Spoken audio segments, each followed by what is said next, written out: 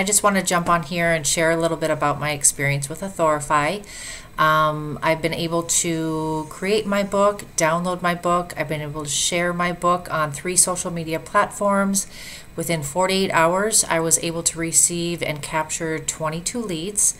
I've been asked to speak and present at on three teams with real estate agents, so I'm excited about that.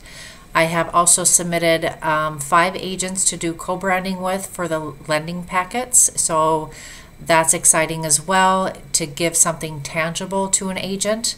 So, my experience thus far has been great. I've learned a lot. I'm continuing to learn every day with the videos and the templates and being able to speak with the coaches. It's been a great experience, and I'm looking forward to doing more.